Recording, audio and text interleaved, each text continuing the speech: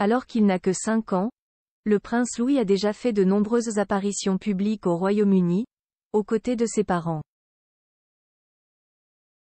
Des moments dont se réjouissent la presse et les adorateurs tristes de la famille royale, tant le jeune prince est rafraîchissant et n'a pas encore tous les codes de bienséance royale.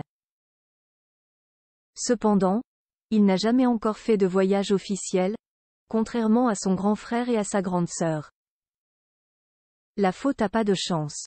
Les voyages officiels du prince George et de la princesse Charlotte en 2014, âgé d'à peine 9 mois, le prince George, premier enfant du couple royal formé par le prince William et Kate Middleton, effectuait sa première tournée étrangère avec ses parents, en Australie et en Nouvelle-Zélande. Un voyage qui n'était pas sans rappeler le moment où la princesse Diana et le futur roi Charles III avaient emmené William, également âgé de 9 mois, pour un voyage officiel en 1983, toujours en Australie. Il s'agissait d'une première dans l'histoire de la monarchie britannique. La princesse Charlotte, quant à elle, a effectué son premier voyage officiel à 16 mois en 2016, en se rendant avec ses parents et son grand frère George au Canada. L'occasion idéale pour William et Kate de présenter à leurs enfants un royaume majeur du Commonwealth, avant que les horaires scolaires ne rendent ces choses difficiles plus tard, comme l'avait déclaré leur porte-parole à l'occasion d'un briefing préalable à la tournée.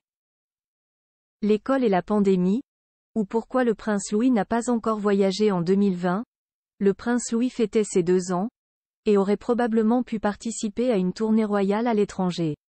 Si la pandémie de Covid-19 n'avait pas frappé.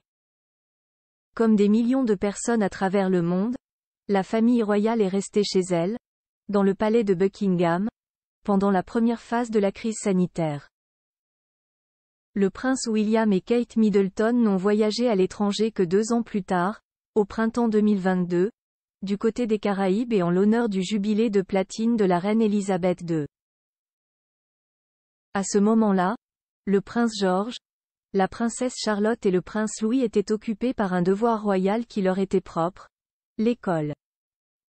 Voilà pourquoi Louis n'a pas encore eu la chance de partir en tournée à l'étranger avec ses parents, même si cela ne devrait désormais plus tarder. À condition, peut-être, que le jeune prince n'en fasse pas qu'à sa tête.